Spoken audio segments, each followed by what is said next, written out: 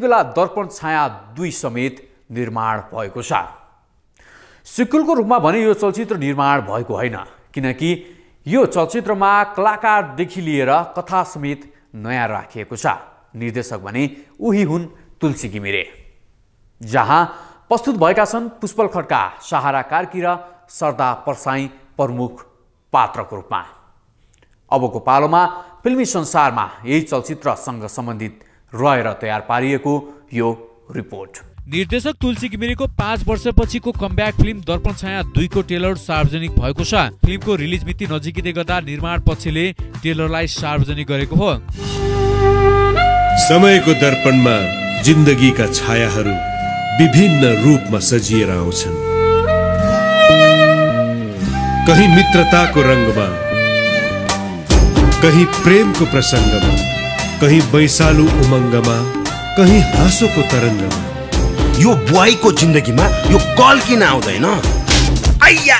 You speaking English Japanese Korean European लाटी हो कि क्या हो? त कहीँ सङ्गीतको सरगममा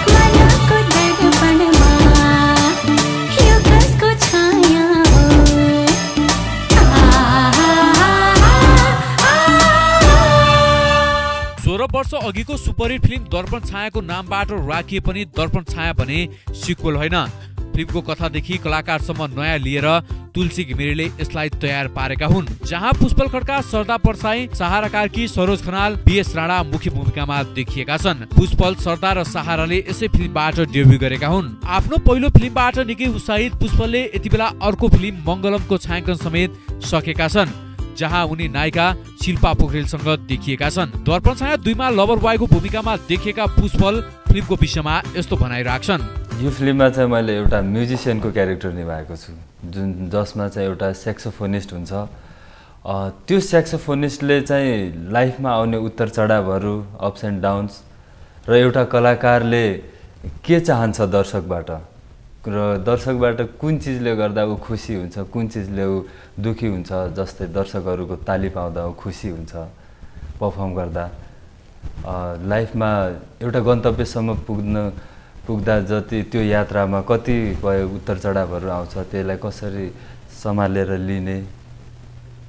त्यो चिजहरू चाहिँ छ। यति बेला सरदा पनि फिल्म दर्पण छाया दुई पछि अर्को फिल्म प्रेम गीत दुईमा व्यस्त छिन्। आफ्नो पहिलो फिल्मको प्रचार प्रसारमा व्यस्त सरदा चलचित्र दर्पण छाया दुईमा काम गर्दाको अनुभव यसरी सुनाउँछिन्। सुटिङ अनुभव त एकदम धेरै रमाइलो थियो होइन? जस्तो मैले सोचेको भन्दा त एकदम धेरै डिफ्रेन्ट थियो होइन? अब को एक्टर्सहरू पनि एकदम धेरै सपोर्टिभ भएर होला। हाम्रो तुलसी सर पनि एकदम धेरै सपोर्टिभ भइसिन्थ्यो इनकेस केही आउँथेन भने चाहिँ नि रिल्याक्स गर राम्ररी गर भनेर सिकाइसिन्थ्यो होइन?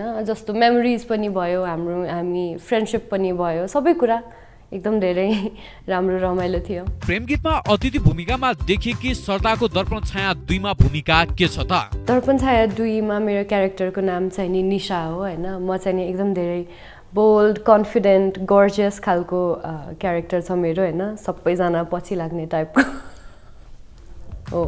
रञ्जित गजमेरले सङ्गीत दिएको फिल्ममा रामेश्वर कार्कीको छायाङ्कन भारती घिमिरे र प्रकाश बराइलीको सम्पादन र सबु गोदाल कार्कीको निर्माण रहेको छ।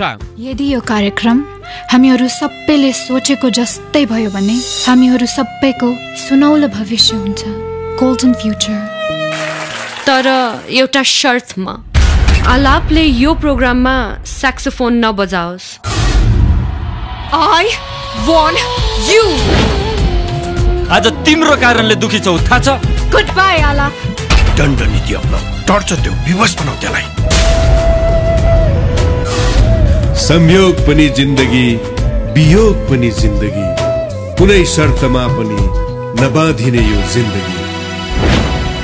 Artist life is miserable life सङ्गीतको दुनियाँमा आफ्नो भविष्य खोज्ने हो भने मस्तिष्कले होइन मनले सोच्ने गर म मरेर गए पनि त मरेर गए पनि यो साज बजिरहोस्।